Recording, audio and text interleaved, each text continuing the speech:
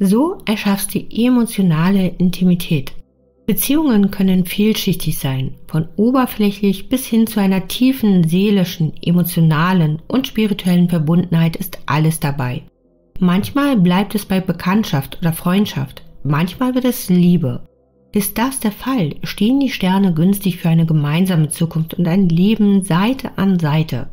Damit es aber nicht nur bei einem schönen Schein von Zweisamkeit bleibt, muss Intimität entstehen. Damit gemeint ist nicht die körperliche, sondern die emotionale. Wie nahe wir jemanden an uns heranlassen, ist ein wichtiger Faktor, der über Verliebtheit oder Liebe, Flirt oder Beziehung entscheiden kann.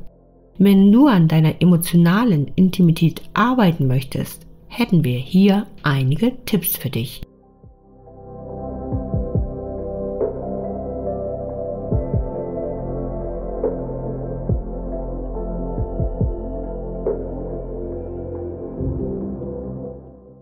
Nummer 1. Was sind eure Streitpunkte?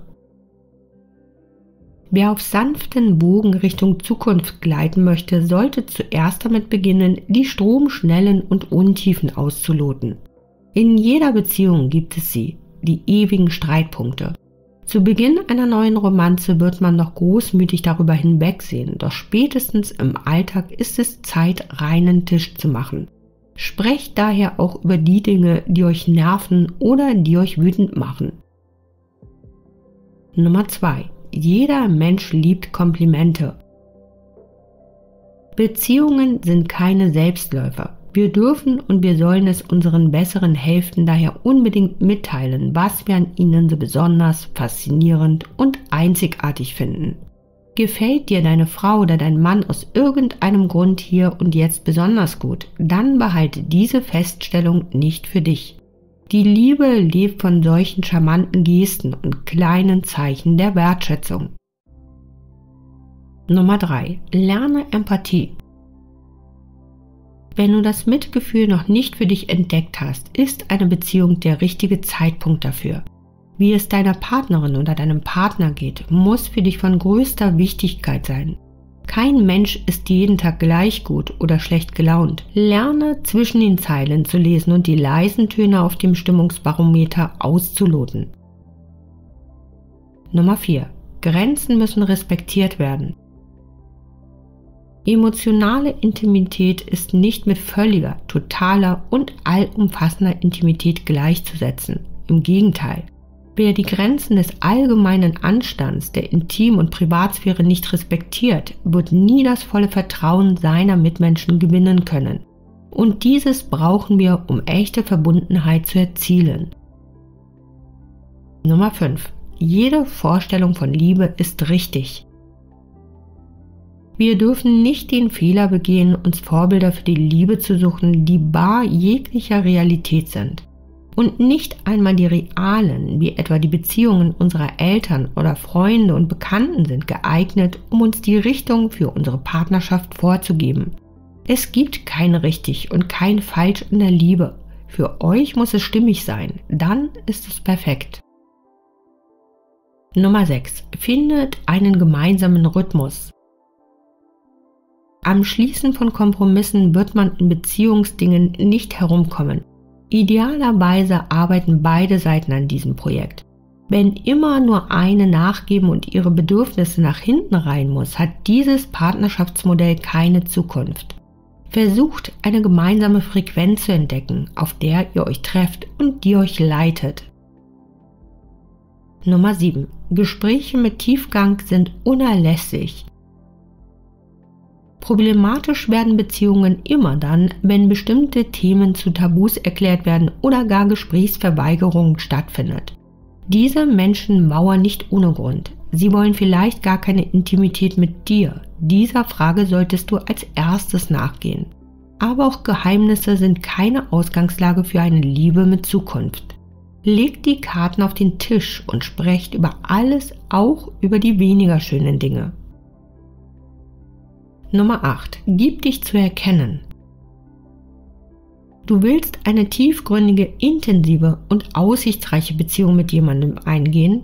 Gut, dann beginne am besten mit jener zu dir selbst.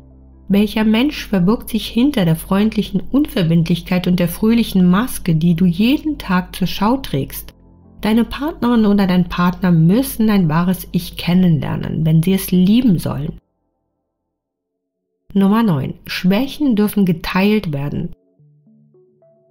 Viele Paare berichten davon, dass es gerade die schweren Zeiten waren, die sie zusammengeschweißt haben.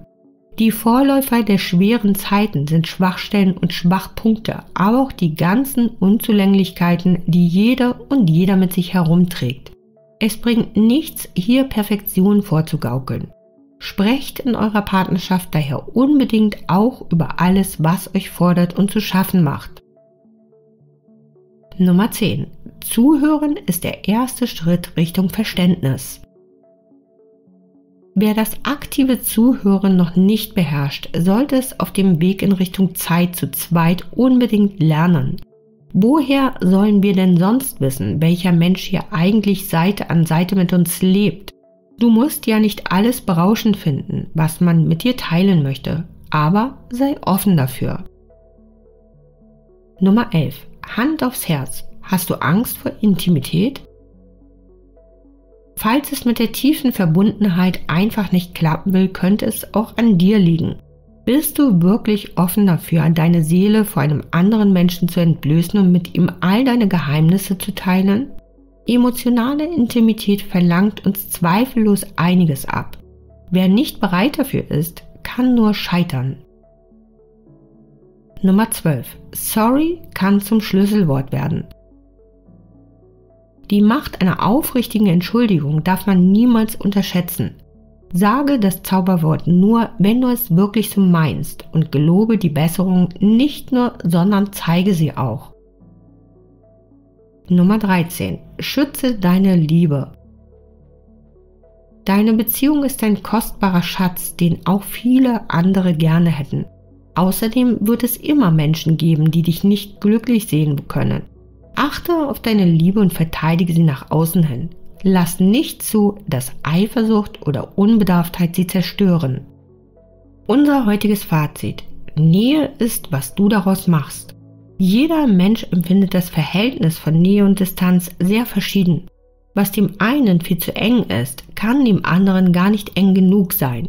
Im Idealfall treffen sich zwei Menschen, die dasselbe unter Intimität verstehen und die dieselbe Art von Beziehung und Partnerschaft anstreben. Ohne den ausdrücklichen Willen dazu wird nichts davon gelingen. Es ist kein Mythos, dass gelungene Zweisamkeit Arbeit erfordert. Sie wird sich vielleicht nicht immer so anfühlen, aber ohne das Ziehen an einem Strang wird das Liebesglück bald geschmolzen sein wie Eis in der Sonne. Mach dir bewusst, wo die Reise für dich hingehen soll. Ist euer gemeinsames Ziel die Zukunft? Setzt die Segel und bestimmt den Kurs. Wenn dir unser heutiges Video gefallen hat, dann schau auch gern auf unserer Homepage vorbei. Dort findest du viele spannende Themen zum Nachlesen. Den Link hierzu findest du in der Videobeschreibung. Das war's für heute. Vielen Dank und bis bald.